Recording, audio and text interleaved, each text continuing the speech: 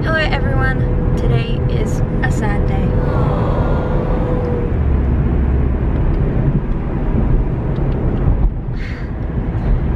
We're on our way to squash for the last time in we don't know how long. So pretty much overnight Australia's like cracked down on the coronavirus and all like gyms, hot gyms, indoor sports, cinemas, restaurants, cafes, bars, everything like that are closing down from 12 p.m. today.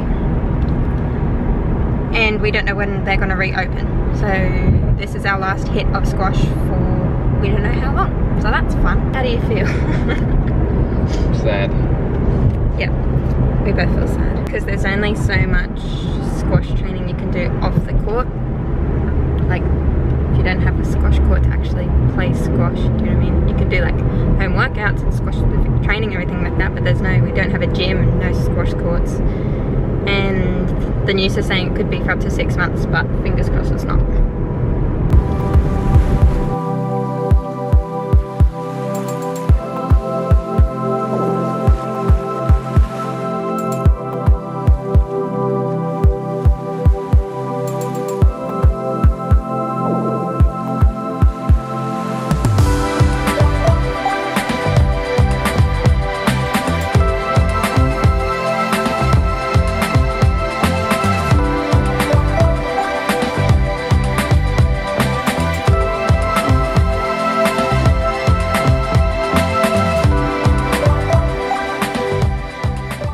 it's actually a couple of days later since I filmed those last clips and I just wanted to sit down and have a little bit of a chat about what's going on. Pretty much as most of you know, squash centres are closed at the moment in Australia and pretty much all around the world. I'm on a few like squash forums on Facebook and it's pretty much the same case everywhere in the world. There's only like a couple of countries where squash courts are open. Same thing with gyms and any other indoor sport as well. So we're definitely not the only ones affected. But it is hard. I actually really feel for all the professional squash players at the moment. Uh, none of them would have an income at the moment if they don't have some sort of side income. Because yeah, the World Tour is currently on hold at the moment and none of them are playing. It's good to see the squash community coming together, trying to stay positive, posting home workouts and squash specific workouts and everything like that which is kind of what I wanted to touch on as well. So I'm hoping to post more home workouts and squash specific training but I just wanted to say I probably won't be posting too much squash content here on YouTube for the next I'm not sure how long and I think you guys will all understand that because obviously pretty much everyone in the world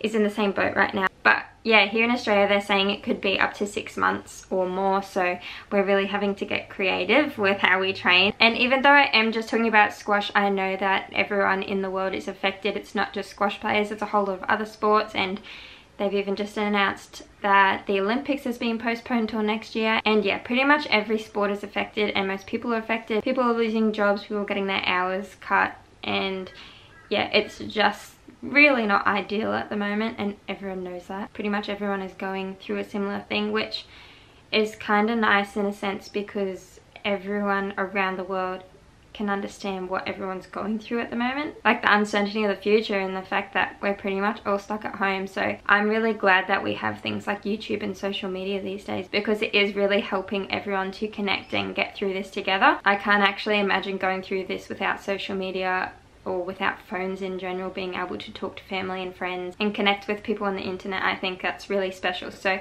we do have a whole lot to be grateful for and I am really grateful that I do have a roof over my head at the moment and I'm with my family and I have food to eat and I'm safe and I'm healthy and yeah, I hope you are all safe and healthy too and doing okay. If any of you do need to talk, feel free to reach out. Hopefully we'll all be back on a squash court before we know it. But until then, we'll keep sharing workouts and squash specific training and everything like that and get through this together.